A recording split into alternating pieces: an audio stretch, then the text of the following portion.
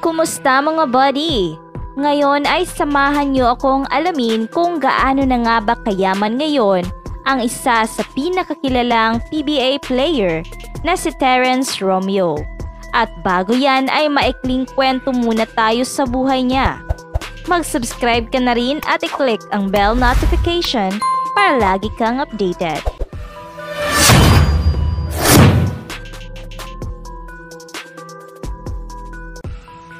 Well buddy, isingit lang natin itong issue patungkol sa dating asawa di umano ni Terence Romeo dahil sa kinasasangkutan nitong rent tangay issue. Nadawit nga ang pangalan ni Terence Romeo dito dahil sa pinangalanan pa siya sa mga headlines ng balita. Dagdag pa dito ang comment ni Christopher Min na nagawa lang daw naman ito ni Beatrice Pia White dahil sa pagmamahal niya kay Terence. At kung tutuusin pa daw ay mas kawawa pa si Beatrice. Dahil nung nagkautang-utang at nadidimanda ito ay wala di umanong Terence ang tumulong na supposed to be. Kapag mag-asawa ay dapat sinasamahan sa hirap at ginhawa. Pero inalmahan naman ito ng mga taga-suporta ni Terence na kung anuman ang ginawa ni Beatrice ay labas na si Terence Romeo dito at sana hindi na nila dinadawit ang pangalan ni Terence para lang mapag-usapan. Ikaw buddy, anong opinion mo dito? Comment down below. Siya si Terence Bill Vitanzos Romeo o mas kilala natin sa pangalang Terence Romeo o TR7. Si Terence Romeo ay sinilang noong March 16, 1992. And yes, siya ay kasalukuyang 29 years old tubong Imus Cavite at may tangkad na 5'11". Suportado rin si Terence Romeo ng kanyang ama sa pagbabasketball. At sa katunayan ay nakuha pa raw ni Terence ang jersey number 7 niya sa kanyang ama na si William Romeo dahil di umano sa idol nito si Jaworski. Alam niyo rin ba na gaya ng mga kabataan noon ay isa rin si Terence sa umaalis ng umaga sa bahay para mag-basketball at gabi na ito kadalasang umuuwi.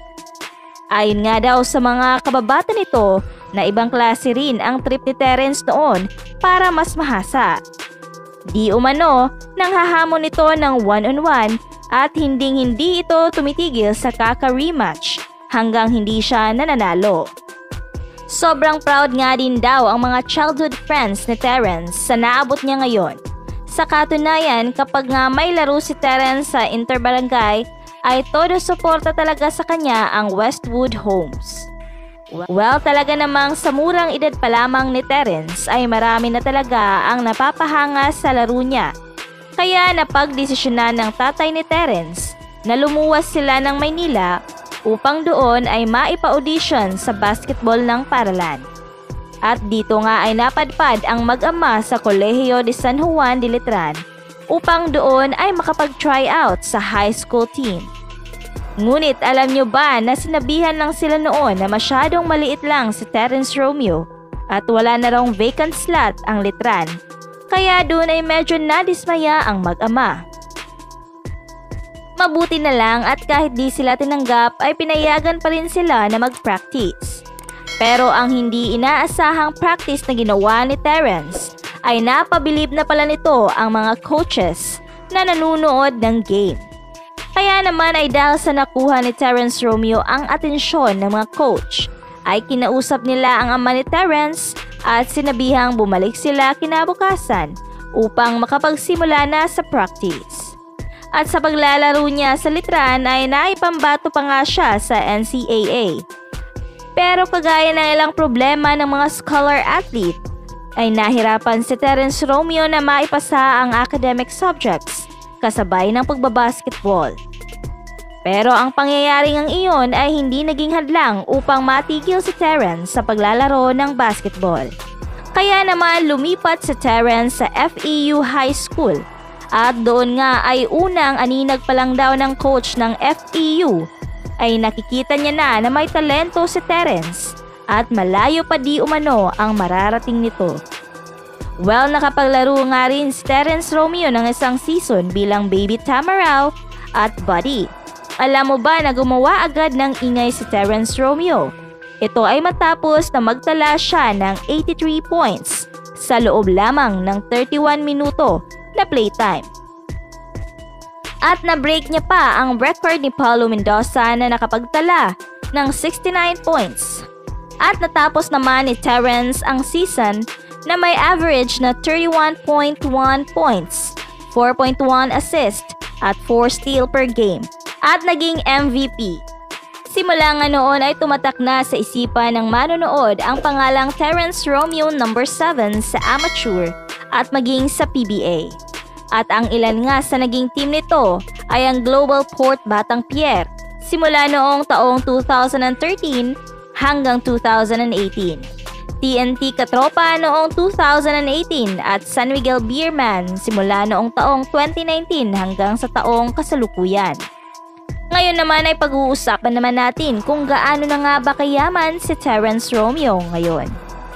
Well buddy, ayon nga sa website ng idolnetwork.com na ang net worth na ngayon ni Terence Romeo ay umaabot na sa 4 million dollars o kung i-convert natin yan into Philippine money ay nasa more or less 200 million pesos. Wala akong nakitang larawan ng bahay niya online dahil siguro for private purposes only. At buddy, ito naman ang sasakyan ni Terrence Romeo. At bukod sa pagbabasketball, ay meron din siyang negosyo na kung saan nagbebenta siya ng mga ganito.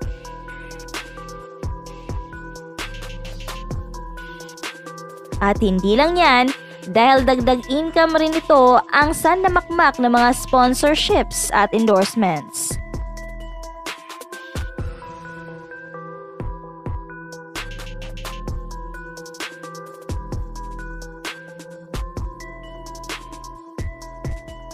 Well buddy, di talaga maitatangging sobrang laki na ng tagumpay na nakamit ni Terence Romeo dahil sa pagbabasketball.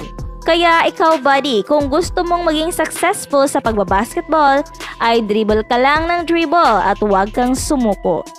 Hanggat may oras ay may pag-asa pang manalo. At ang sikreto sa tagumpay ay pagpupursigi at pagpapractice. Hanggang dito na lang muna at maraming salamat sa panonood. God bless buddy!